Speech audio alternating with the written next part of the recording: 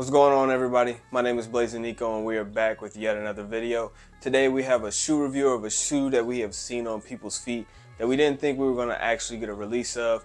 You know, we thought they were player exclusives, but without further ado, we have the Nike Kobe Protro 6 Reverse Grinch.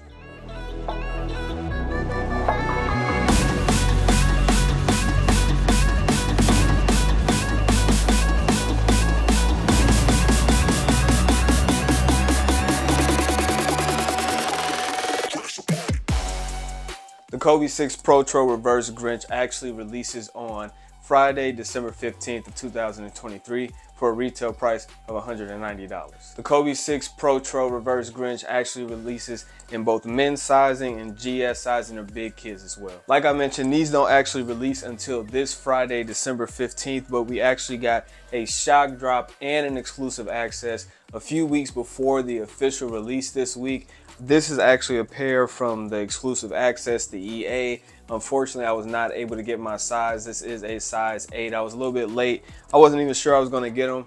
I definitely bought some Nike products and went for a bunch of Kobe products, but I was not sure if I was going to actually get access. And the one time I do, I'm a little bit too late. But like I said, I took an L on the shock drop. I got these, so hopefully I can use these as trade bait so I can get my actual size. I would definitely say one of the most famous Kobe models is definitely the Kobe 6. So when we got hit with the Kobe 6 Grinch back in 2020, especially after everything that happened, people went crazy for him. It was a lot of price gouging and a lot of people coming out the woodworks that don't actually like Kobe products. But we got those back in 2010 originally. And then we got the green pair, you know, the Grinch pair. We got them back again in 2020, and now they hit us with the reverse Grinch, which is a beautiful shoe as well in 2023. Like I mentioned in the intro, we actually seen a couple players wearing this shoe on court. As a PE, we saw Anthony Davis. He tends to rock Kobe's all the time. Same with DeMar DeRozan and a lot of NBA players, especially after Kobe's passing. But we saw Anthony Davis rock these first, and we weren't sure if we were ever going to see a general release for these, but we're actually supposed to see an abundance of pairs. is Vanessa Bryant said, this is actually the biggest Kobe release. I think she said three times bigger than any Kobe release ever. So this is definitely a general release, and they're definitely doing it for the people, and I am happy for that. Now let's take a look at the Nike Kobe 6 Protro Reverse Grinch. You know, you guys know Kobe 6s by now. We all love the Grinch 6s, one of the best Kobe's of all time, but these are definitely a beautiful shoe. As you can see, it kind of has that fading from lighter to the outside on that toe box. You have the snake skin throughout the upper of the shoe, besides on the heel and the heel counter, probably just because of material so that you guys can hoop in these. But you see we got the green laces that really make the Kobe signs pop out here and there and on the sole as well. You know, we have Mr. Kobe Bean Bryant's signature on the back. Such a beautiful shoe. They chose a great shade of red for these. I'm happy that we got these. Shout out to Anthony Davis for wearing these early.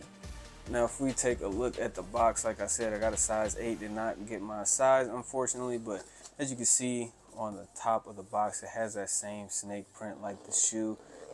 It even has a little bit of texture. It's debossed. Got the Kobe signature right there, the Kobe sign. You know, just a classic, clean, all black Kobe box. Nothing crazy, but definitely a cool box.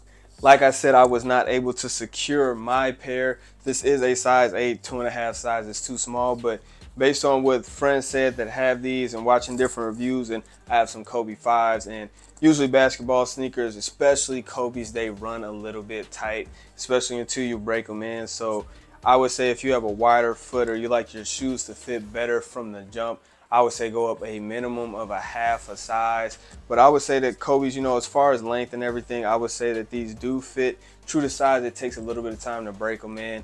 But I would definitely say go true to size if you know how Kobe's fit and if you're being a little bit careful, you have a wider foot or flat feet, I would definitely recommend going up at least a half a size. Now, as we take a look at GOAT for resale prices, we can see that the small men's sizes are just below 300. You know, once we start creeping up to size 7 men's, they get to the low 300s and they creep up pretty quick around size 10 and a half all the way up to 400 and they just kind of keep going up up and up the bigger sizes you get the more peculiar sizes that aren't normal As we take a look at StockX you can see this is actually a size 10 and a half and it is sitting at just above $400. Here's a full size chart. It's pretty consistent, but definitely some variations. When Vanessa Bryant officially signed the contract again with Nike for the new Kobe brand. She definitely wanted to get a lot more shoes out, a lot more products. She wanted to have an abundance of pairs so they weren't so exclusive and so hard to get your hands on.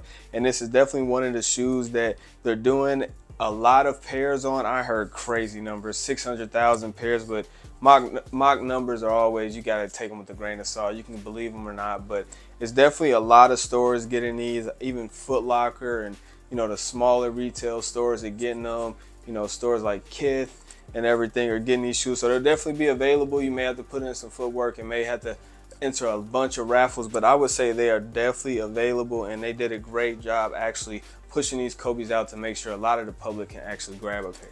I know we got a couple of Kobe's this year, but I would say hands down this will be my favorite. This is definitely number one, maybe the GGs. You know, sixes just kind of hold a special place in the basketball realm in general.